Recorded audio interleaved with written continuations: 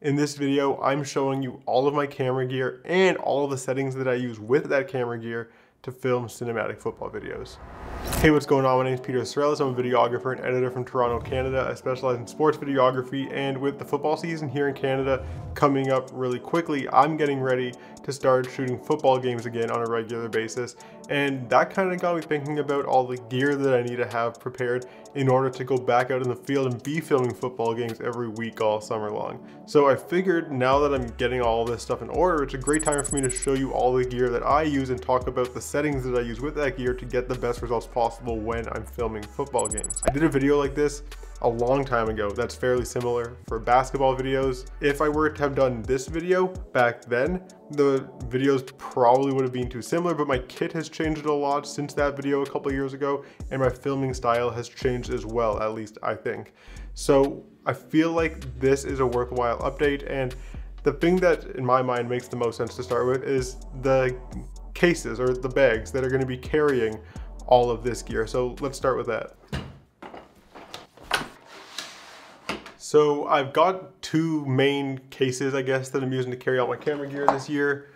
We've got this, which probably doesn't fit on the screen. I hope this does, which is the Nanuk 935. It's a big, like, basically camera case. You open it up and it's all padded on the inside and it fits all your different stuff. I had this Nanuk 935 case on my wish list actually for a minute and then my work ended up getting it and letting me use it for when I'm traveling this summer filming games which is awesome and it has like a whole padded interior where I can put like lenses and camera bodies and just everything and then a few pockets underneath the lid where I can put like batteries, SD cards, small tools, different things like that. I'm actually super excited to start using it because my biggest gripe with having to travel to film a game in the past was that I pack up this backpack, which I still use and is a great backpack but it gets absolutely torn apart by security because they can't find everything easily. So now that I have a big bag that I can actually lay everything in, it's gonna hopefully make my airport experience a lot easier. And then the other thing that I'm using to carry all my camera gear is this camera backpack. This is the Brevite Jumper, and it was actually sent to me like about a year ago maybe, and there was like no money exchanged or anything like that. But they basically said, take this, see if you like it, I tried it out for a little bit and I haven't stopped using it since. It's amazing for travel. I like that it has this little strap here on the back so I can actually hook it over top of the handle that comes out of the Nanuk case that I just showed you and then roll all of my stuff around at once. This is gonna be really good for like, if I have the odd lens that has to get thrown in here, like the odd camera body that I just wanna keep on me while I'm like on the plane and I don't want to have to put it in the overhead. I want to have it like actually accessible or keep my laptop in here. It's going to be really useful for that type of stuff. And then obviously just like clothes and personal hygiene items and the regular things you have to travel with if you're going to film a game. Next up, let's talk about all the cameras that I'm using to film football games this year. And the first one is actually one that you're not gonna suspect if you've been watching this channel for a little bit. And that's the Sony FX3. Yeah,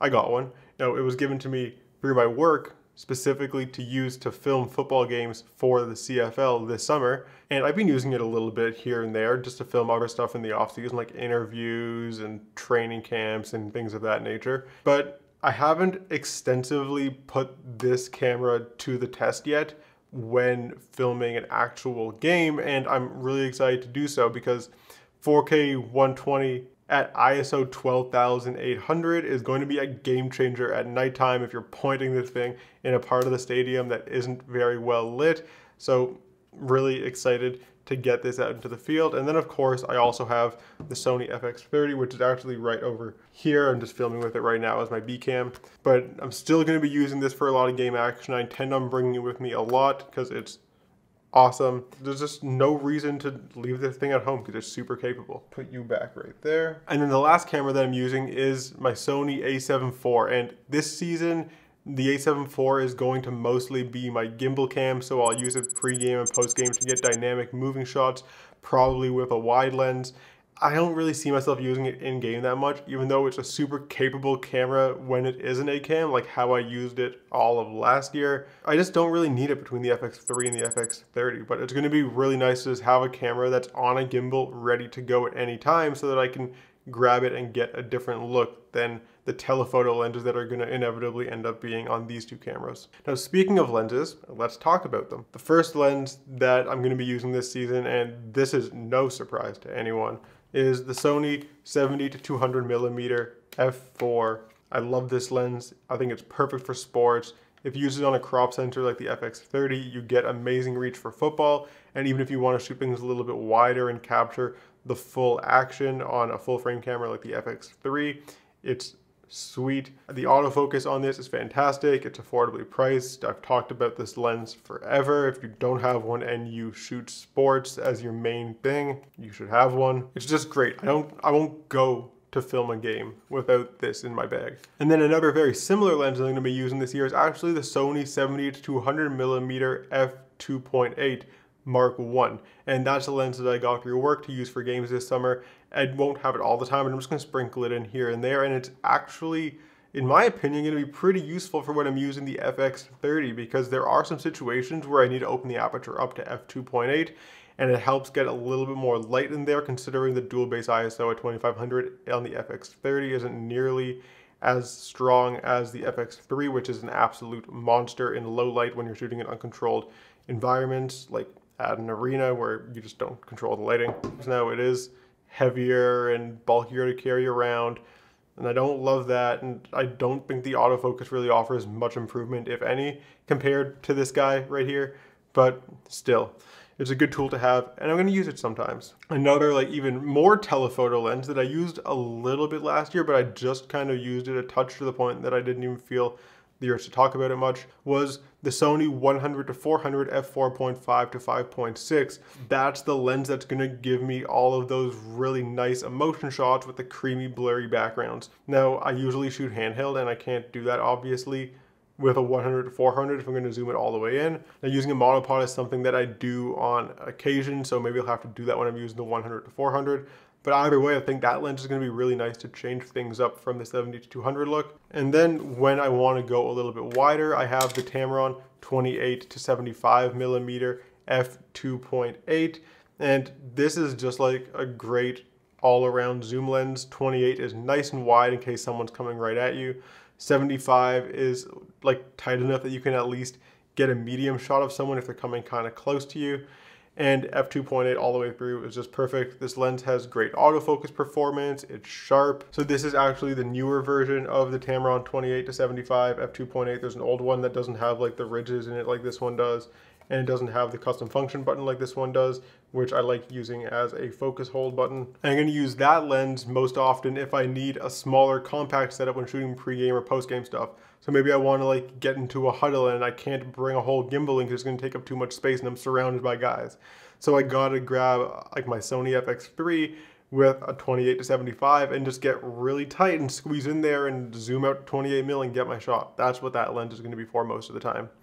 And then of course, when I'm on the gimbal with the a7 IV, I'm gonna be using the Sony 20mm f1.8.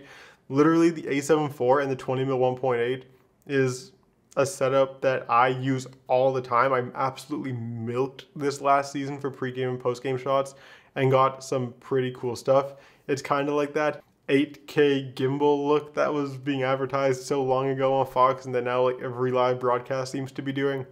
So that's my way of replicating that for not too much money, I guess. So the gimbal that I'm rocking for my gimbal setup is actually the original DJI Ronin S, not the RS2 or the RS3 or any of these newer fancier gimbals that have come out. And those gimbals are fantastic. But the original DJI Ronin S that I have just works. Like it's a good gimbal, it balances the camera. I don't know what more I could ask for, so I just keep using it and it keeps serving me well. That's really bad. Now for audio, I'm rocking the Rode NTG3 and this is a really sweet XLR mic that has been provided to me through work. So I'm using it exclusively for CFL games this summer. And this is actually an awesome microphone, not only for capturing dialogue or people talking at you, I guess, in the field, but also for like when you're doing interviews and stuff, I've been using this for a bunch of interviews in the off season and it has sounded super crisp. I'm just really happy with it. And I'm running it straight into the XLR top handle right here that is going to be living on top of the Sony FX3 for most of the games that I'm filming. And then kind of my alternate, like not provided by work, but my audio setup that I'm also going to be rocking for games is the Rode VideoMic NTG. I'm using it right now, as you can see right here for this YouTube video. Make sure I get that out of the shot. And this mic is also super sweet for capturing ambience and things of that nature when you're in the field and it plugs in with a 3.5 millimeter jack. So even when I don't have this top handle accessible, I can just run it right into the side of the FX30 or the A7 IV and it's not an issue. It sounds better than putting on like one of those little video micro things. That's like 50 bucks. So I'm trying not to use those anymore. This is a bit of an upgrade from that. And obviously this is the biggest upgrade. And the SD cards that I'm shooting on are the SanDisk Extreme Pro V90 SD cards that write at 300 megabits per second. So I have like a bunch of these because they let me do 4K 120 and 10-bit color on the FX3 and the FX30. So I've got two on my personal account and then I got another two in the work camera, the FX3 as well. And I'm basically like always locked and loaded with a bunch of these things so that no matter what, I can just roll and roll and roll and it's not an issue. And that, that's not to say I'm rolling in 4K 120 all the time because I think that's excessive. And again, we're going to talk about settings in a bit. I don't always film on external monitors when I'm shooting, but when I do use an external monitor, I usually use the Andycine A6 Plus.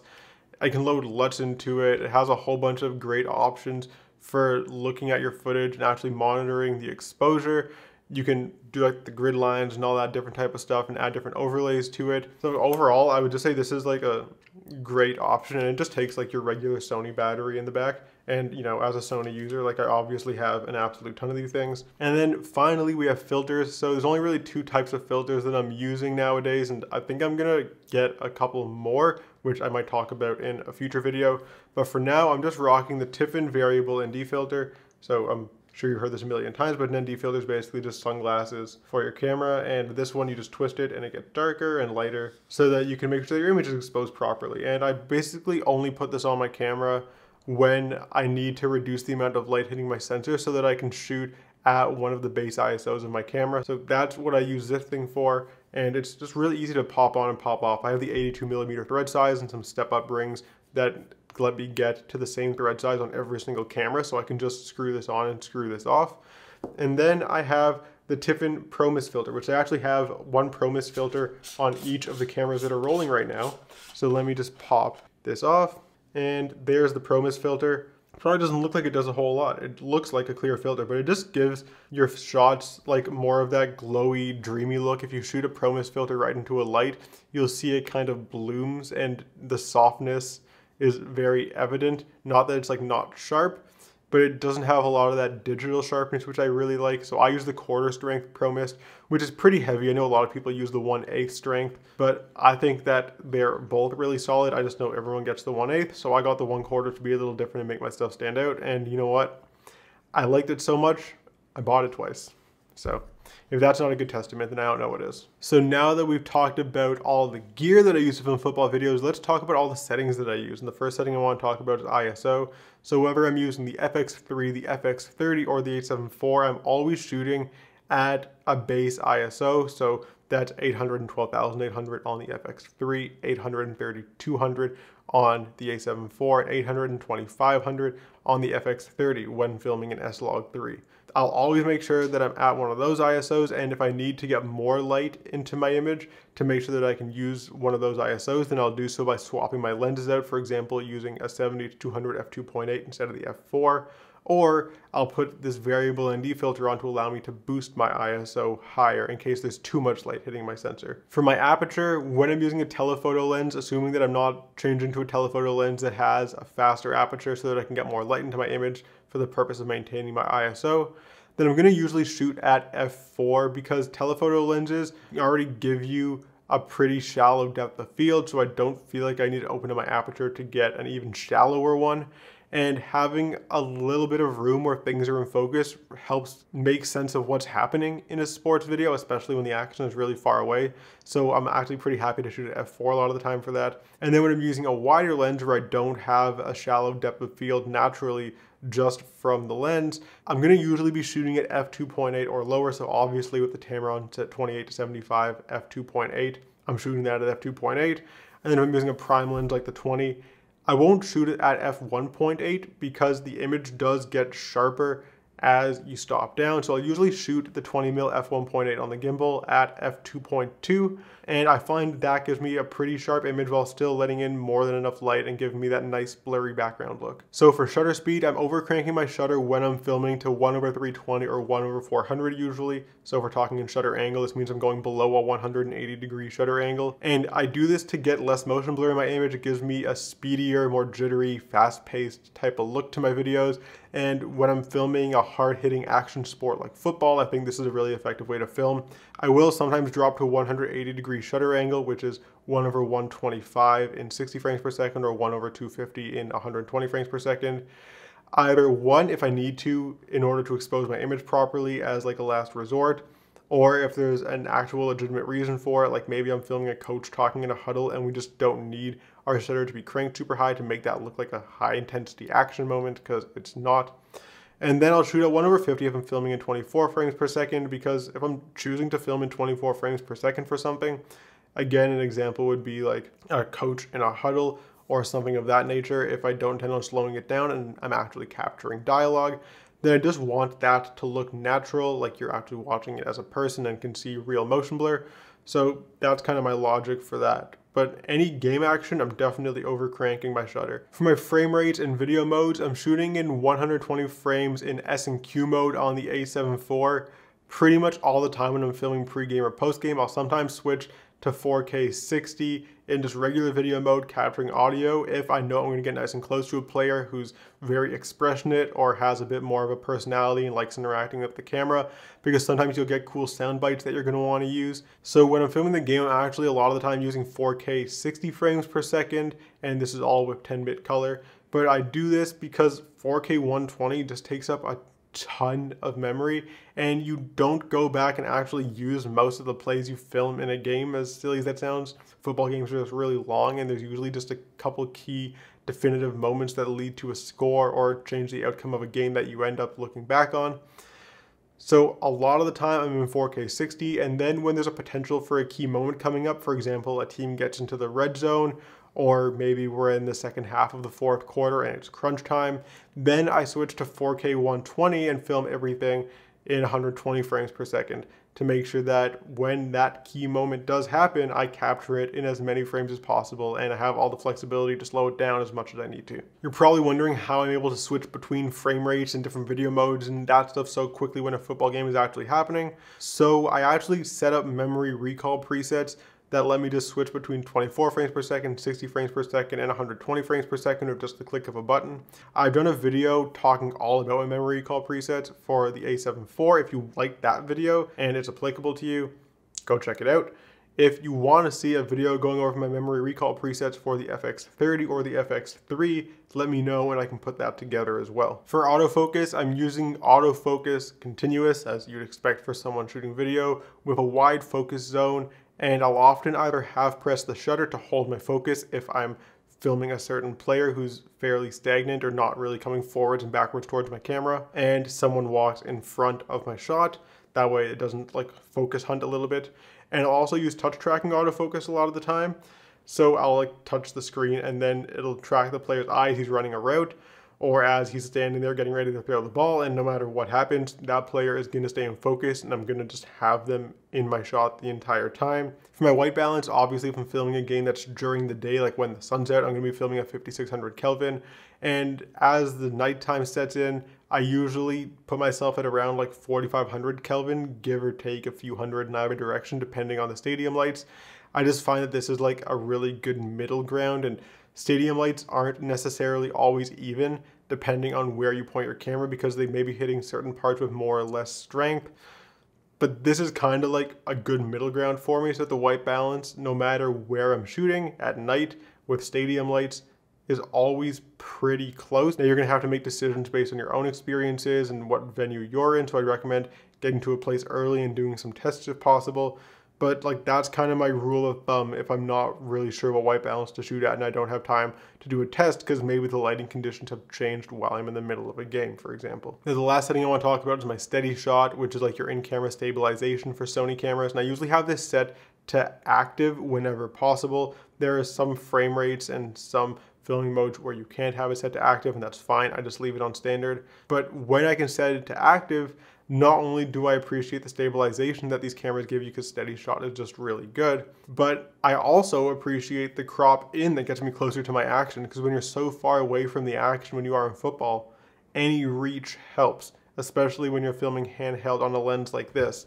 So I'm able to, with that extra crop in, actually get tighter shots that I really like and get more stable footage, which is awesome. Anyways, bit of a long video, but that's all the camera gear and all the settings that I use with that camera gear to film cinematic football videos. If you like this video, please subscribe to the channel because I post videography and video editing tips tutorial videos similar to this one on a regular basis, and I'd love to have you around for that. If you have any questions about anything we talked about here, please drop it in the comment section. I would love to answer what you have going on and have a discussion with you down there.